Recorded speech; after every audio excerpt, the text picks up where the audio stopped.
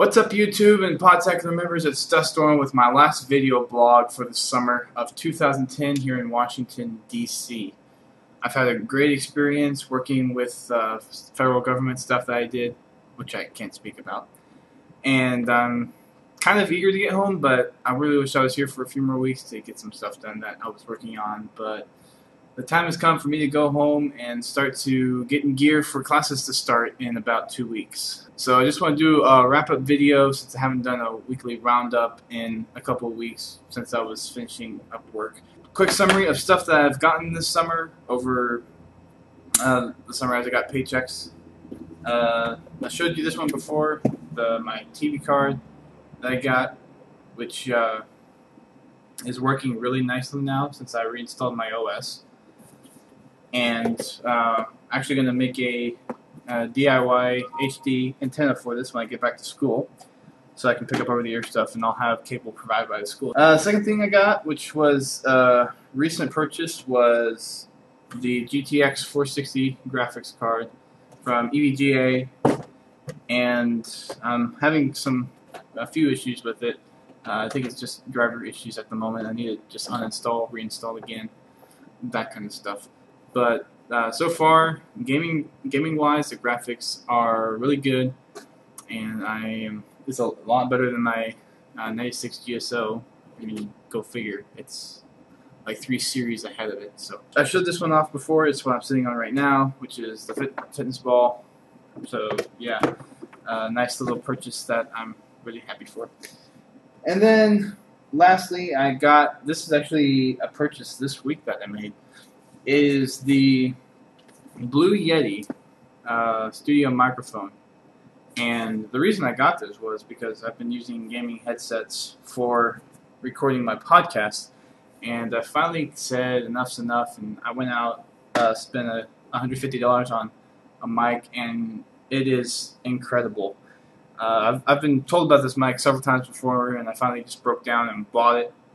And I'm really liking the audio quality. It sounds fantastic.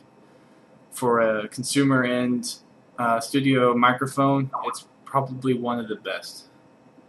And I'm getting a Skype message from someone.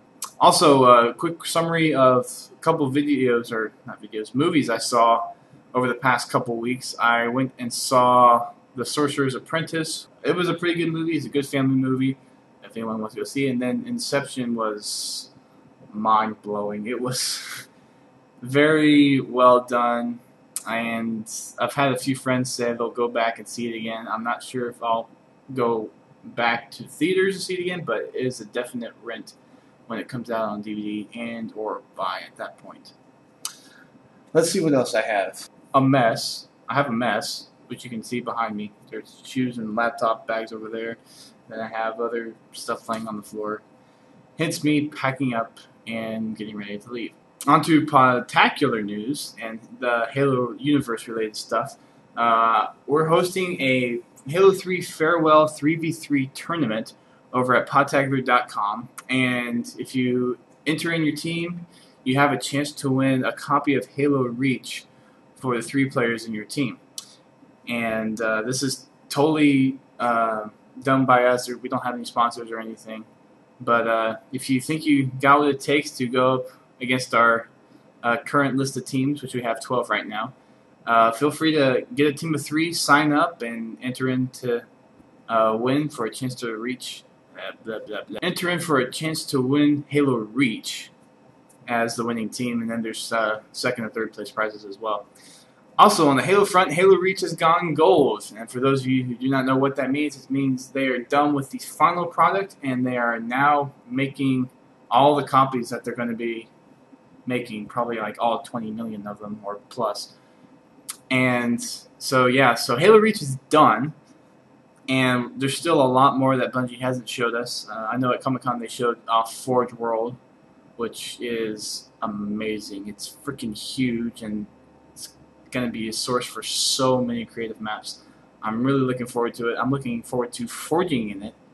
And uh, I've done a few forge things myself, but uh, they're not great works of art, but they're they're okay for for maps. This is my last video blog from Washington, D.C., like I said before. And I will see you on the flip side when I'm back in my good school hometown of Tulsa, Oklahoma. Thanks for listening, guys.